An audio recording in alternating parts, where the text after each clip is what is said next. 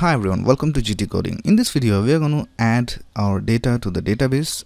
So in the previous video, we had created this form and we had added validation. So if I click on submit, we can see that all fields are compulsory is displayed over here.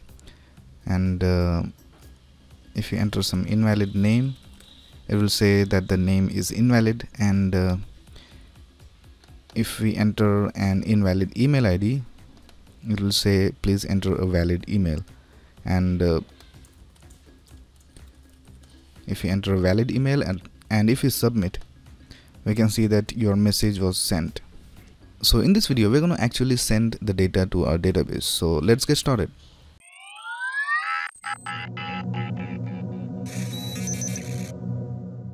So first of all we need to create our database. We need to have uh, the fields for full name email message and also a field for ID so let's go to our php myadmin so go to localhost slash php myadmin and you land on this page. So go to databases over here. Type the name of the database over here or you can just go over here click on new and uh, name our database. So we'll name our database contact me and click on create and in our database we need to create a table. So we'll call our table contact info. We'll have four columns and we'll click on go. Now we'll name each of the columns. The first one will be called id and uh, we will leave the type as int and uh, we'll also set it as auto increment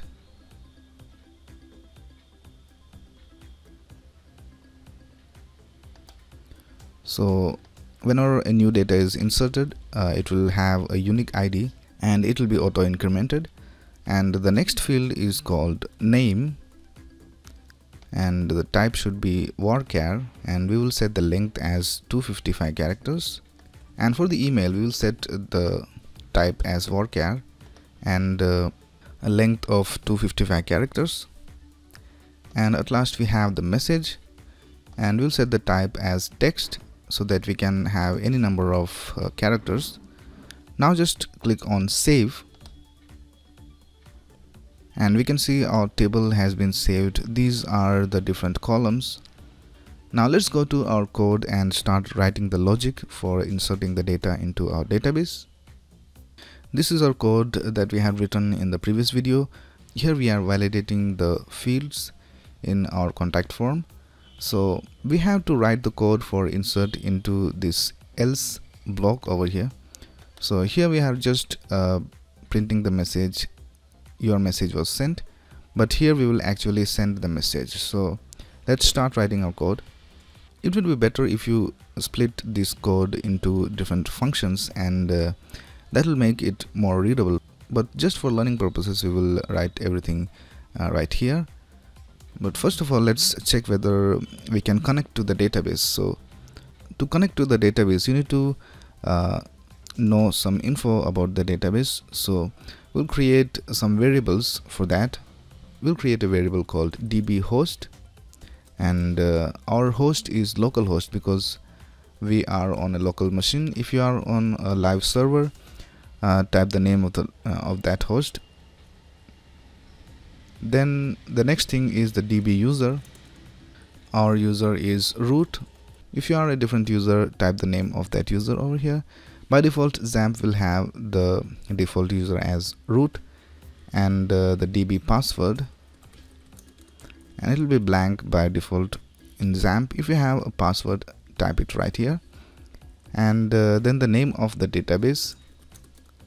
The name of a database is uh, contact me right here. So we'll type contact me over here. Now we are going to be using PDO to connect to the database. So let's write this code in a try catch block so that you can catch any exceptions. Db connection failed. E get message. And in our try block here uh, first of all we need to have something called the data source name so we'll create a new variable for that dsn and since we are using mysql we have to type the following line of code.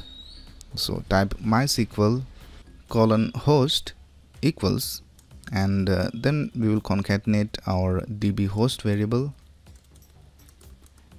And then we have to have a semicolon and then db name equals and then we will concatenate our database name now we'll create a new PDO object. So we'll name the object as PDO and it will be equal to new PDO and here we have to pass the DSN the DB user and uh, the DB password. Now we'll echo connection successful. So let's see whether our connection was successful. We'll just refresh our page and we can see connection successful is displayed over here. So if we just change this to something different and if you refresh our page we can see that uh, it has an error. So we know that our connection is being successfully made. So we'll just remove the message from here. Alright so now we'll write the code for inserting the data. So here we'll create a new variable called SQL and we'll write our query in here. So the query for inserting data is uh, insert into and then the table name. So our table name is uh, contact info. So here you have to type contact info. And uh, what are the values that you want to store? So we'll store the name email and uh, message and then you have to type values. And uh, here we will use uh, named parameters. So you can directly type a name for your name. So we will just type name over here. And for the email we'll type email. And uh, for the message we'll type message. So that's it for the query. Now you have to prepare a statement. So we'll type stmt and uh, then pdo prepare and you have to pass the query. Now after that you have to execute the statement. Execute. And here you have to pass the values. So these are the placeholders and we have to pass the values over here. So we'll create an array and uh, here we will type name and uh, arrow because we are using an array. And the name will be this name variable over here. So we'll just type dollar sign name and the email will be email and the message will be message. So that's it for inserting the data into the database. Now we'll just check whether it works. So we'll refresh our page and we'll type some name over here John Doe. For the email we'll type john at gmail.com for the message we'll type this is my message. And we will click on submit. You can see your message was sent. We will check our database whether the data is inserted. So we'll go to the database and uh,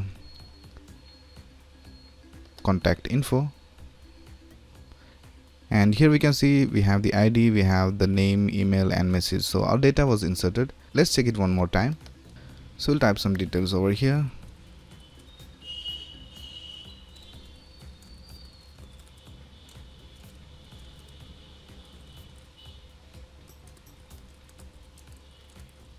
We'll click on submit. We'll refresh our database. So here we can see the data and the ID and um, everything is inserted correctly. So this is basically how you insert data into a database using PDO so that's basically it for this video. If you have any doubts you can ask in the comments below and uh, click on the like button if you like this video and subscribe to this channel to get the latest video updates. Thanks a lot for watching. Have a nice day